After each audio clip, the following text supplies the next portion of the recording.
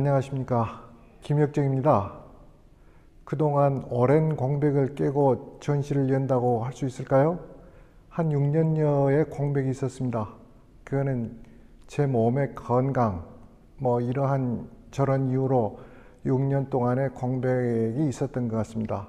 그리고 3년 전에 이 작품전을 기획을 했습니다마는 코로나가 발생을 했고 그런 이유로 어, 3년 정도 시간을 미루어 왔던 것입니다.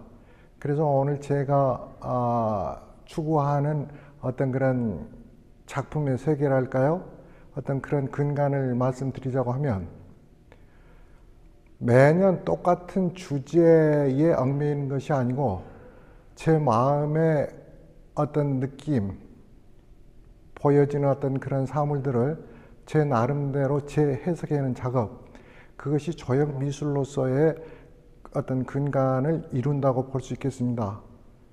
꽃일 수도 있고 하늘의 별일 수도 있고 그 다음에 떠다니는 섬 이러한 것들이 제 작품의 근간을 이루고 있습니다.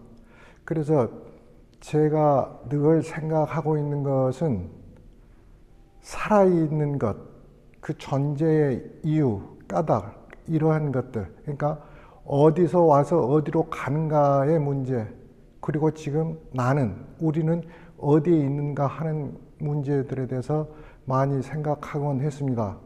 그래서 이번에 일어난 이태원 참사도 마찬가지이지만 과거의 세월호니 세월호에서 숨져간 어린 학생들의 죽음 그러한 것들에 대해서 그 영령들이 꽃으로 피어올라 하늘의 별이 되어라 꽃이 되어라 이러한 마음이 늘 있습니다. 그래서 제 작품 속에는 어떤 그런 분들에 대한 해원제를 갖는 그러한 부분도 있을 거라고 사료되어집니다. 그래서 지금 둘러보시면 아시겠습니다만은 저기서부터 제가 연차적으로 해온 그런 작업들이 있습니다.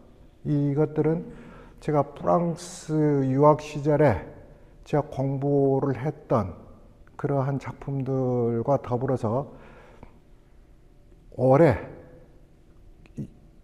올해까지 진행되어 왔던 그런 작품들을 모두 모아서 한 70여 점이 됩니다. 그래서 이, 것을 지금 갤러리 전관에 제가 전시를 하게 되었습니다.